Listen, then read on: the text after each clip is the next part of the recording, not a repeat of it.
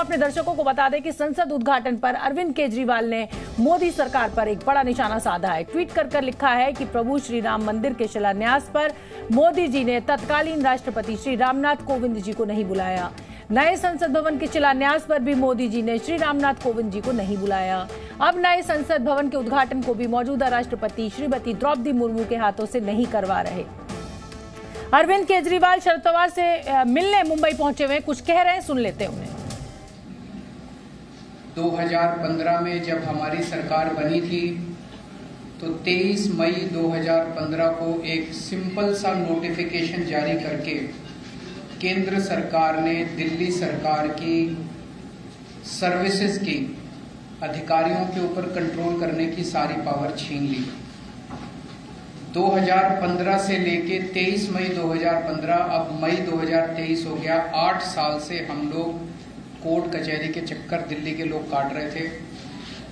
आठ साल के बाद सुप्रीम कोर्ट ने 5-0 संविधान पीठ ने कॉन्स्टिट्यूशन बेंच ने 5-0 से पूरा का पूरा ऑर्डर दिल्ली के लोगों के हक में दिया कि दिल्ली के लोग जो सरकार चुनते हैं, उस सरकार को काम करने का पूरा अधिकार होना चाहिए। अगर वो काम नहीं कर सकती तो दिल्ली के लोगों को चुनाव करने की, सरकार चुनने की क्या फ़ायदा?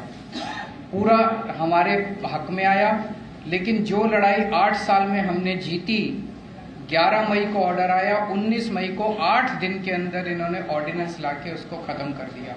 सारी पावर वापस, उन्होंने कहा कि केंद्र सरकार के पास या केंद्र के एलजी के पास सारी पावर होगी। तो जैसा अभी एक्सप्लेन किया कि अब ये बिल के रूप में आएगा पार्लियामेंट में तो हम पूरे देश में एक एक एक एक पार्टी के पास जा रहे हैं, उनसे निवेदन कर रहे हैं कि दिल्ली के लोगों के साथ न्याय होना चाहिए। दिल्ली के लोगों के लिए समर्थन मांग रहे हैं कि जब ये संसद में बिल आएगा तो उसका और इसको बिल को हराना है।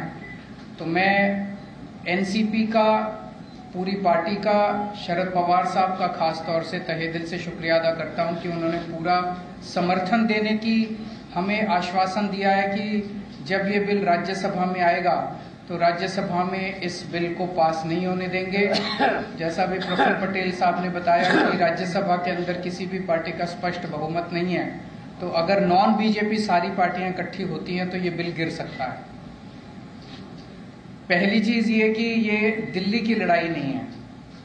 दिल्ली के लोगों के साथ जो हो रहा है, ये पूरे फेडरल स्ट्रक्चर की लड़ाई है। जिस तरह से पूरे देश के अंदर किसी भी राज्य में अगर वहाँ के लोग नॉन बीजेपी पार्टी को वोट देके उसकी सरकार बनाते हैं तो भारतीय जनता पार्टी की केंद्र सरकार उनके साथ तीन बर्ताव करती है। पहला, या तो उनके विधायकों को खरीद के उनकी सरकार गिरा देती है और बीजेपी की सरकार बना लेती है। दूसरा या फिर ईडी और सीबीआई को भेज के उनके विधायकों को डरा के, धमका के, पार्टी को तोड़ के, सरकार को तोड़ के उनकी सरकार गिरा देती है और अपनी बीजेपी की सरकार बना लेती है। और तीसरा, अगर ना बिके, ना टूटे तो फिर अध्यादेश लाके ऑर्डिनेंस लाके गवर्नर के ज़रिए उनको काम नहीं करने दिया जाता। ये देश के लिए बहुत खतरनाक स्थिति है। और मैं समझता हूँ महाराष्ट्र के अंदर आप सब लोग इसके भुक्तभोगी हैं। हमने कुछ महीने पहले देखा कि यहाँ पे किस तरह से जनता के द्वारा चुनी गई सरकार को, किस तरह से ईडी के द्वारा सीबीआई के द्वारा, पैसों के द्वारा तोड़ के एमएलए को तोड़ के और पूरी सरकार को गिरा दिया गया। ये देश के लिए अच्छी परिस्थिति नहीं है कि अगर केंद्र सरकार, अगर उन्होंने मैसेज दिया है कि अगर कोई बीजेपी को वोट नहीं देगा बीजेपी की सरकार नहीं बनाएगा तो हम सरकार चलने नहीं देंगे या सरकार तोड़ देंगे। ये देश के लिए बहुत खतरनाक स्थिति है। तो हम पूरे देश के लोगों के पास जा रहे हैं, लोगों को जोड़ रहे हैं। लोग पूछ रहे हैं, ये विपक्ष की एकता है क्या? ये पक्ष और विपक्ष की बात नहीं है। ये देश की बात है।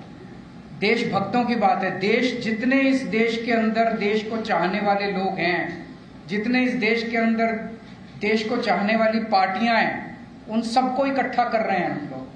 तो जितने देश को चाहने, कोई देश को चाहने वाला व्यक्ति ये नहीं बोल सकता कि भाई इस तरह से चुनी हुई सरकारों को तोड़ के, खरीद के, अध्यादेश जारी करके काम ना करने दिया जाए।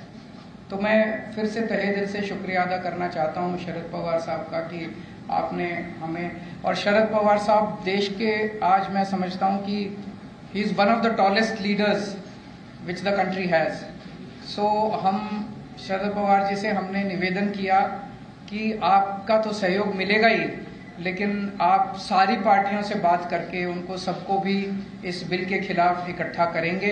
और मैं समझता हूँ कि अगर ये राज्यसभा में बिल गिर जाता है, बीजेपी पास नहीं करवा पाती है तो ये आप इसको 2024 का सेमीफाइनल मानिएगा, फिर मैसेज ये होगा कि 2024 में मोदी जी की सरकार नहीं आ रही है।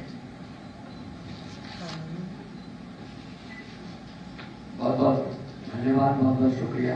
पटेल साहब हमारी पार्टी के प्रेसिडेंट अरविंद केजरीवाल साहब।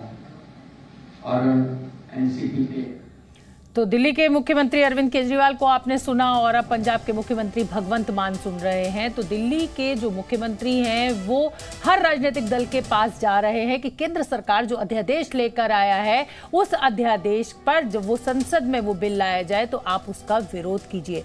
और ये तस्वीरें आप देखिए, जब शरद पवार से मिलने के लिए दिल्ली के मुख्यमंत्री अरविंद केजरीवाल पहुँचे हैं, उनके साथ संजय सिंह राघव चड्ढा, भगवंत मान और आतिशी दिखाई दे रही हैं। तो अपने पूरे लॉ लश्कर के साथ दिल्ली के मुख्यमंत्री अरविंद केजरीवाल पहुँचे हैं। आप सरकार ने सर्विस सेक्रेटरी का ट्रांसफ़र किया था।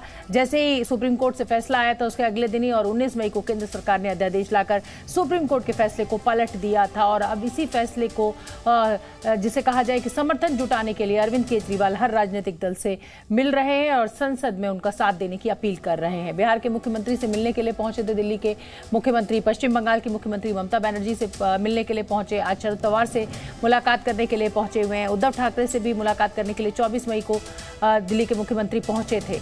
तो ये पूरा वो घटनाक्रम, जब सुप्रीम कोर्ट ने ये फैसला दिया कि जो सर्विसेज़ का अधिकार है वो दिल्ली सरकार को है एलजी को नहीं, उसके बाद केंद्र सरकार ने अध्यादेश लाया और उस अध्यादेश को लाकर सुप्रीम कोर्ट के उस फैसले को पलट दिया।